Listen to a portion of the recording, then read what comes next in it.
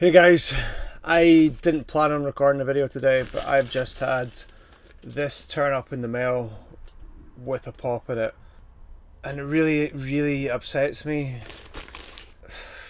So let, let's let's check out what's in it and what condition it's arrived in.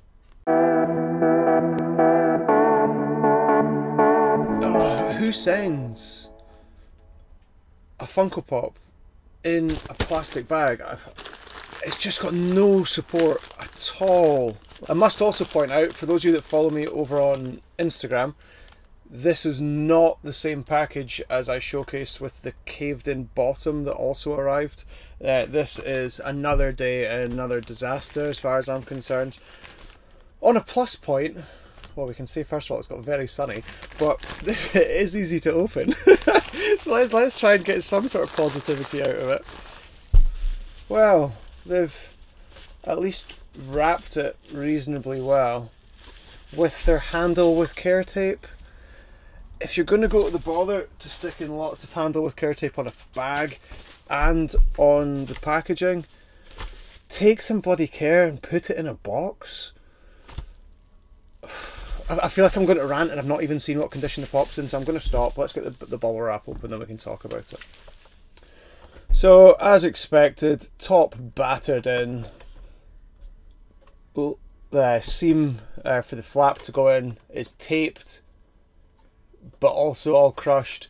Big crease along the front, big crease on the bottom. Bottom's fucked. Ah, uh, this is going to turn into a proper rant, so I'm going to try and stop, control my rage. Big crease across the side here, uh, where the, the kind of graphic of the, the pop or the client is.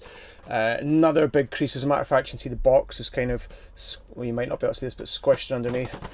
What the actual fuck? Seriously. If you're selling pops, fucking look after them and wrap them properly if you're going to be selling them. I'm fizzing, so I'm going to stop this video.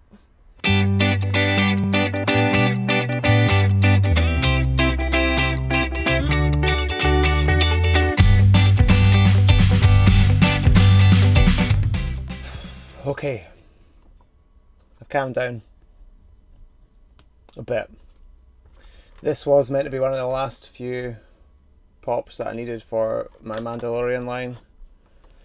And actually, I think what upsets me the most about it is this purchase was actually from quite a large popular retailer, but through their eBay store compared to their website.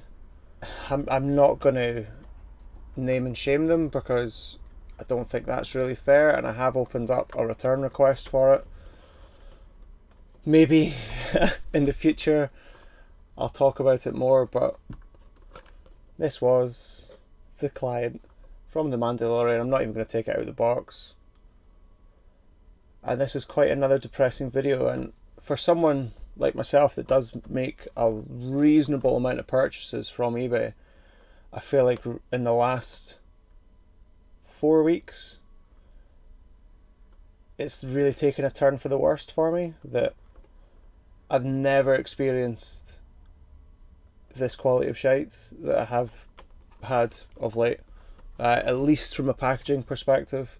Double checked the listing when I stepped away there. New is how it's dubbed. It might be new when it left them, but it's not new when it's come to me. This is fucked, and I'm not going to keep it.